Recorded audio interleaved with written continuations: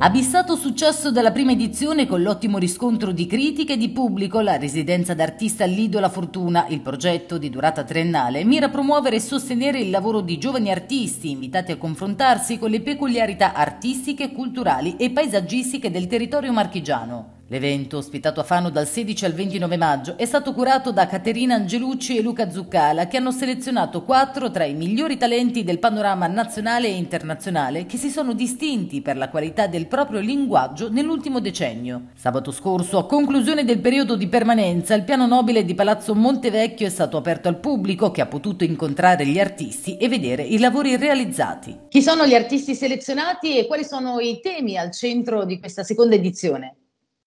Allora, gli artisti selezionati quest'anno sono Andrea Martinucci, classe 1991, che viene da vive tra Roma e Milano, eh, Nicolo Cecchella, classe 1985, vive tra Reggio Emilia e Roma, Caterina Ricascianta, 1986, viene da Torino e Davide Serpetti, che vive tra L'Aquila e Los Angeles, 1990. I film di quest'anno ricalcano quelli dell'anno scorso, ma naturalmente sono eh, filtrati attraverso le personalità e le ricerche di questi artisti, a cui nella mostra finale di restituzione che si svolgerà a Fano ad agosto si uniranno altre tre personalità eh, artistiche che sono i tre pittori invitati nella prima edizione, quindi Sophie Westerlind, Oscar Contreras Royas e Jing Dong, a cui si uniranno a loro volta Danny Avidan, eh, appunto lui è nato in Giamaica, ha vissuto in Israele, è cresciuto a Berlino, che ha scelto come luogo di elezione per il suo lavoro le Marche, la provincia di Pesaro Urbino, e infine Silva Mariotti, ehm, artista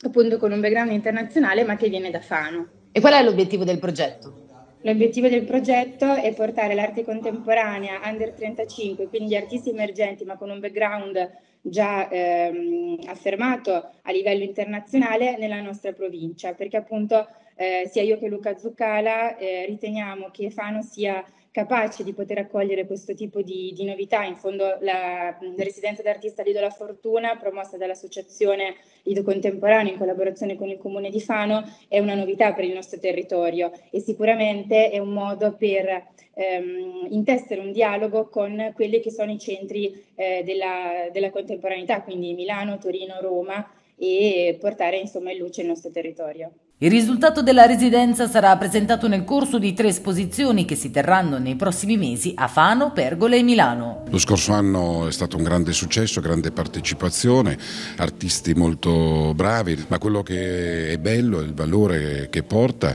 è questo ritrovo di giovani che poi contaminano e c'è la presenza e la partecipazione di tanti altri soggetti che sperimentano, valorizzano il nostro territorio, artisti che dialogano con la nostra storia, con le nostre emozioni, i nostri sentimenti, eh, con eh, il nostro ambiente, la nostra natura, il mare. E tutto questo poi